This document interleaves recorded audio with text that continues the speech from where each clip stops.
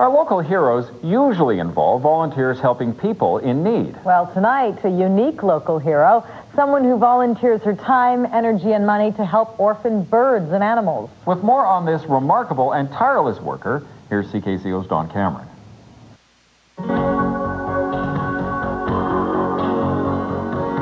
Local Heroes, brought to you by Snyder Plywood Specialties, featuring decorative French doors to brighten your home.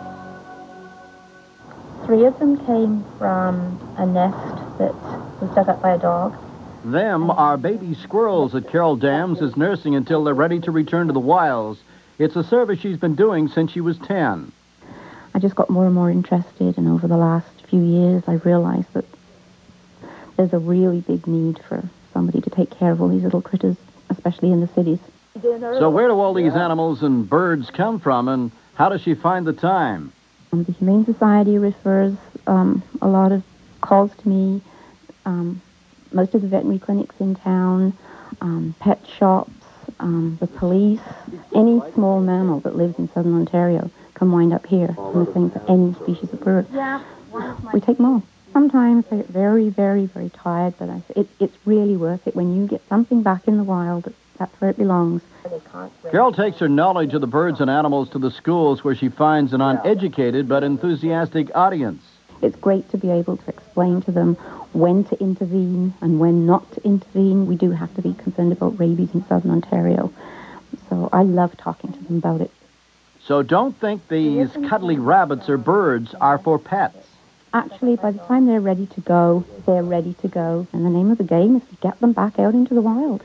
And this quail, roughed up by a dog, should be ready to go soon. And so will the cute little rabbits. Carol has some good help in foster homes, but she has one wish. I would desperately love to see a wildlife rehabilitation facility because um, it is a huge job and very expensive.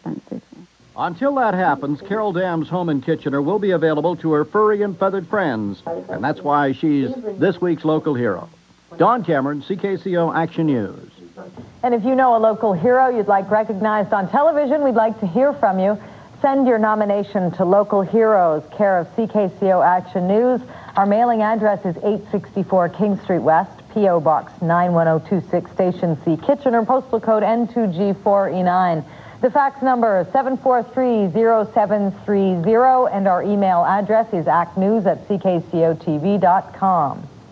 There's a tremendous need for volunteers in the Waterloo region. If you want to help, call the Volunteer Action Center at 742-8610 or the Cambridge Volunteer Bureau at 623-0423.